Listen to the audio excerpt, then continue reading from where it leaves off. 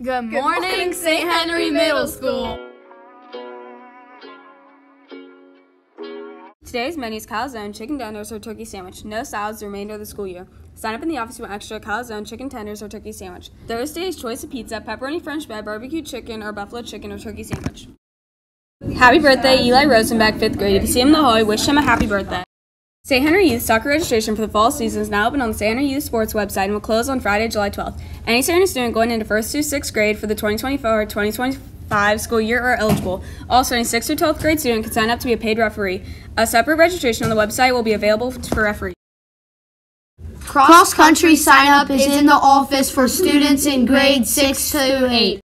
Anyone interested in joining Scouts can pick up a flyer from the office. Please check the lost and found table. Any items not claimed will be donated.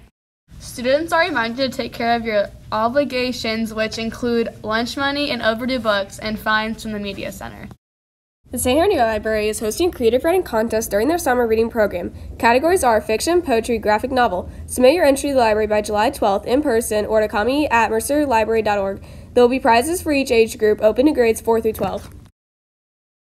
Please stand for the saying of the pledge.